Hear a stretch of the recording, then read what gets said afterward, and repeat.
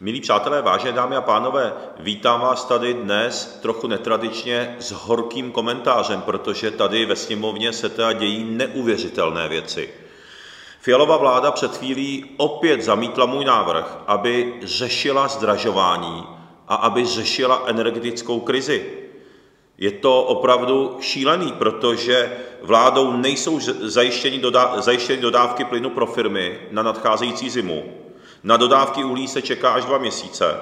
Ceny elektřiny, pohonný mod a potravin dále strmě stoupají. Inflace atakuje 20% Občané mají obrovský strach z toho, aby vůbec eh, tuto zimu zvládli kvůli nečinnosti vlády. A vláda teď před chvílí opět zamítla věnovat se řešení energetické krizi a pomoci občanům. Takže SPD se rozhodlo svolat opět mimořádnou schůzi na toto téma, protože zima se blíží a e, vláda nemá žádná řešení. E, navíc firmy krachují a dokonce i kraje a obce nemají smluvně zajištěny, představte si, nemají slušně, e, smluvně zajištěny dodávky energií pro školy, nemocnice a domovy pro seniory na příští rok kvůli vládě Petra Fialy. Takže jsem vám to chtěl říct, že se opravdu řítíme do obrovských problémů, protože vláda ani dnes ve sněmovně o tom prostě nechce ani slyšet, o těchto těch problémech. Pojďme k druhé věci, co se tady stala. E, já jsem chtěl tady navrhnout bod a navrhl jsem bod, mm, abychom mluvili o tom, že, jak víte mnozí z vás, tak minulý týden navštívil Českou republiku německý kancléř Olaf Scholz a už po několikáté veřejně navrhl, aby při hlasováních v Evropské unii, v Evropské radě, aby přestal platit princip jednomysl, jednomyslnosti. To znamená, Českou republiku by kdykoliv přehlasovali ostatní státy, ty západní státy, Německo, Francie, ty velké státy, a vlastně my bychom úplně ztratili vliv na jakékoliv dění, na vliv na jakoukoliv naší budoucnost v České republice. A já jsem to tady chtěl projednat ve sněmovně, protože je to hrozně vážná věc. To je vlastně konec eh, České republiky. A protože premiér Petr Fiala minister zahraničí Jan Lipavský, ODS a Piráti, tak k tomu mlčí. Vůbec se proti tomu nejenom, že nevymezili, ale dokonce to v minulosti označili jako vhodný scénář. A opět nám to tady vláda zamítla, ale tady je potřeba říct, že hnutí ano se zdrželo. Poslanecký klub hnutí ano se zdržel. Takže přesně vidíte ten rozdíl mezi SPD a ostatními stranami, které podporují tuhletu politiku Evropské unie, včetně hnutí ano, podporuje politiku Evropské unie. A vlastně je mi úplně jedno, že skončí e, suverenita České republiky, že se, roz, že se rozplyneme pod diktátem Bruselu a budou nám tady určovat, co máme dělat Němci, Francouzi a další. Takže potvrdilo se, že SPD je jedinou stranou v České republice v parlamentu, která bojuje za suverenitu České republiky, abychom udrželi naší samostatnost. Pojďme k dalšímu tématu, co se tady před chvílí stalo. Eh, já vám tady popisuju ta dnešní hlasování, protože o těch se médiích eh, určitě nedozvíte, protože média to schválně nepopisují takhle eh, tyhle ty problémové body z hlediska, z hlediska těch zastánců Bruselu. Tak já jsem tady navrhl, aby Česká republika, stejně jako Poláci, Poláci to řekli minulý týden, aby požadovala na Německu reparace za okupaci. My už jsme tady navrhovali minulé volební období, vládní politici lhali, to byla vláda Andreje Babiše z ČSSD tak a s komunistama tak lhali, eh, že na to není právní nárok, podobně. No není to pravda. Poláci minulý týden oficiálně už to řekli, že budou žádat po Německu reparace. Německu jim dluží zhruba 6,2 eh, bilionu zlotých, což je cca 32 bilionů korun. A i my máme na základě platné postupimské konference, co nám přiznala postupimská konference a následně i reparační konference v Paříži, tak Česká republika má nárok na 306 miliard korun v tehdejší měně, což, což dnes je minimálně 4 biliony současných korun a některé odhady hovoří až o 15 bilionech. A tady se o tom hlasovalo, o tom mém návrhu, o, o tom chci teďka mluvit. A e, pouze SPD bylo pro. Vláda byla proti vládní pěti koalice, ale hnutí ANO se opět zdrželo.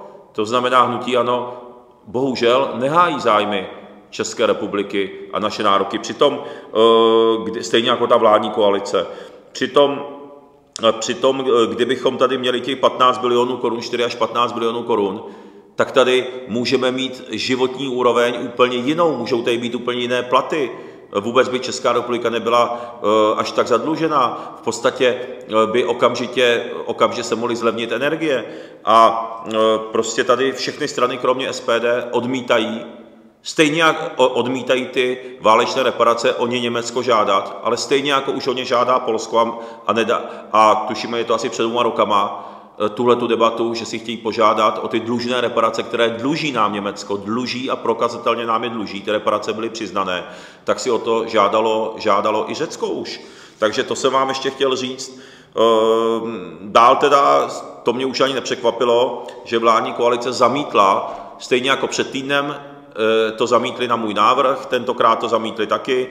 Eh, zamítla návrh, aby se řešila migrace, nelegální migrace do České republiky, protože já už jsem o tom mluvil minulý týden i na tiskové konferenci.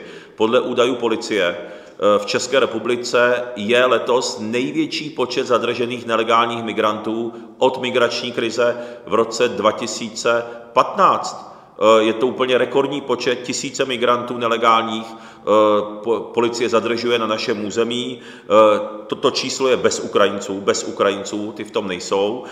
Jsou to hlavně migranti z muslimské Sýrie a další. Naše hranice jsou jako cedník a velmi si mi na to stěžují a mají obavy čeští občané, na Moravě, kteří bydlí u moravsko-slovenské hranice, protože tam dnes a denně se jim tam potulují nelegální migranti, píšou mi hodně ženy, mají strach z toho, protože se pohybují venku, eh, takže a, a my jsme chtěli toto téma otevřít na schůzi poslanecké sněmovny a, a ministr vnitra Rakušán a vládní koalice o tom nechce mluvit, protože ministr vnitra Rakušan nemá čas evidentně, řeší organizovaný zločin v eh, nutí stan ve své partaji, ale jako občaní jsou z toho zoufalí. Hlavně říkám na, eh, hlavně na Moravě u té slovenské hranice, vládu to nezajímá. A poslední věc, což už je úplný vrchol dneska, musím říct, eh, o tom zase média budou mlčet, protože většina médií je na straně vládní koalice, eh, přestože vládní koalice vede tuhletu zemi do katastrofy, miliony občanů se řítí a firem se řítí do neřešitelných finančních a sociálních situací. Tak právě před chvílí tady ministr pro místní rozvoj a předseda Pirátů Ivan Bartoš navrhl zřízení nového úřadu s 350 zaměstnanci za 100 miliony. Nový úřad, další byrokracie za 100 miliony. V této situaci, kdy, eh, kdy prostě vláda odmítá řešit zdražování, odmítá pomáhat lidem, říká, že na to nejsou peníze, přitom tady za 100 milionů nakupuje nejdražší americké stíhačky, místo aby jsme prodloužili ty gripeny, které nám Švédové, eh, včetně modernizace, nabízejí zdarma. Prostě a oni teď tady navrhují vládní koalice ústy předsedy Pirátu Bartoše řízení nového úřadu s 350 zaměstnanci za 100 miliony. Je to neuvěřitelné. Má to být úřad pro digitalizaci. Ano, my jsme pro digitalizaci, určitě, ale digitalizaci mají již v gesci stávající úřady i na, ministerstvech, eh, i, i na ministerstvech a tak dále. Ale oni chtějí řídit nový úřad eh, pro 350 lidí. A tady jenom připomenu, že vládní koalice přededávnem, teďka je to, je to dva měsíce, tak navrhli, aby každý z ministrů této vládní pěti koalice Petra Fialy mohl mít neomezený počet politických náměstků. Oni chtějí úplně zrušit takzvané odborné náměstky, a chtějí tam dát jenom politické náměstky. Dneska podle zákona může mít ministr, může mít ministr pouze dva politické náměstky. To znamená ty politické trafikanty, eh, to, to jsou ti, co mají tu stranickou legitimaci, nejsou odborníci a prostě dostanou za 100 tisíce měsíčně z vašich peněz, dostanou trafiku.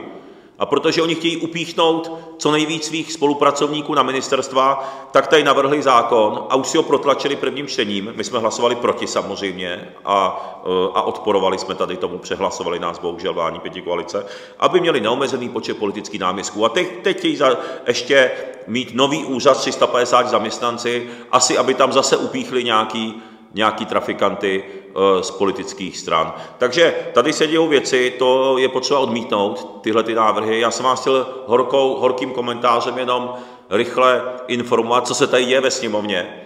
A eh, samozřejmě budeme nadále politicky tlačit na tuhle vládu, aby podala demisi, aby už odstoupila, protože já si myslím, že už to opravdu stačilo. Takže co, co je tím nejbližším řešením? Budou komunální a senátní volby, tento měsíc 23. a 24. září budou komunální a senátní volby. Přijďte prosím k volbám.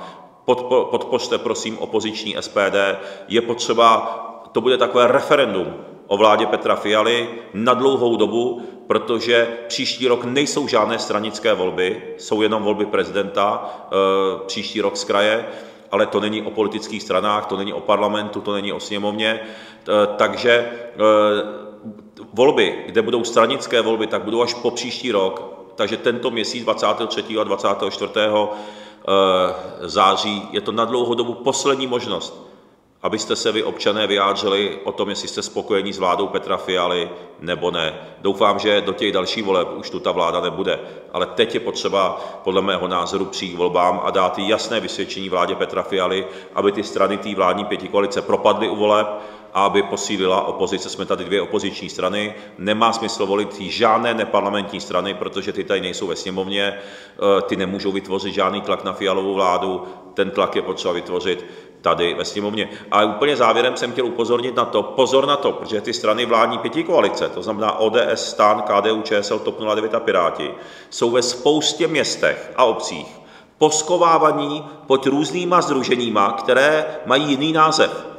Takže když budete se dívat na tu kandidátní listinu, až půjdete k volbám, podívejte se, prosím, kdo jsou ti kandidáti. Oni v závorce by měli mít tu stranickou příslušnost napsanou, ODS, TOP 09 a tak dále.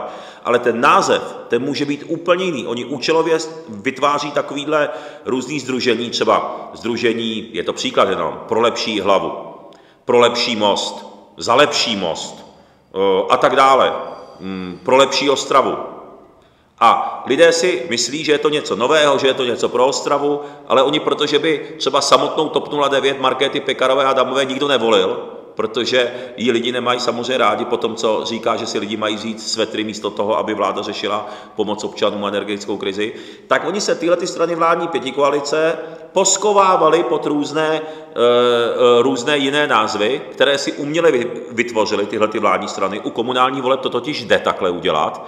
Takže občané si často myslí, že je to něco nového, že je to něco dobrého, ale jsou tam poschovávaní tihleti straníci z těchto stran. Takže mrkněte vždycky na ty kandidáty, v závorce by měli mít napsanou tu stranu a podle toho poznáte, že je to vlastně kandidátní listina téhletý vládní pětikoalice Petra Fialy a já si myslím, že bychom je neměli teďka podporovat, neměli bychom je podporovat, protože je potřeba teďka dát najevo, že občané nejsou spokojeni s touto vládou. Takže e, to je jasné, u SPD je to jasné, naše kandidátka je vždycky napsaná, že je to kandidátka SPD, i když třeba e, máme pár desítek kandidátek, my kandidujeme v 337 městech a obcích, 150 kandidátek je třeba Združení, SPD, Trikolora a tak podobně, e, většinou my samostatně, ale tam jasně transparentně napsáno, že je to SPD, nemusíme se za někoho schovávat. Takže to byl dnesní horký komentář, mějte se hezky, přeju vám hezký večer a těším se zase brzo na viděnou na svém profilu eh, s informacemi, s aktuálními informacemi. Mějte se hezky a držme spolu.